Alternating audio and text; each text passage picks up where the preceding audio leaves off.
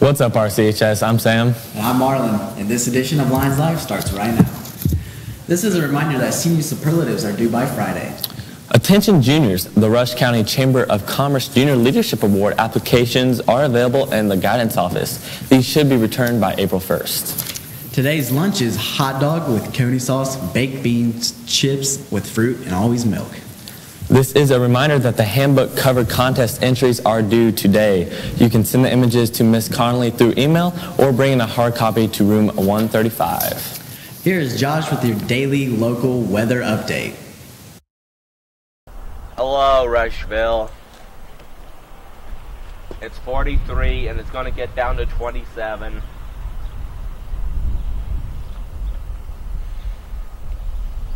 And I don't have the energy to care at all today. I, I have a I have a test to do, so I don't care. Back to you.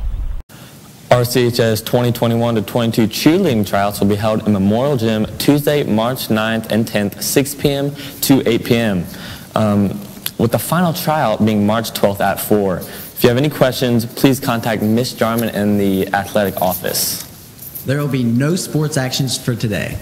Have a great day, RCHS.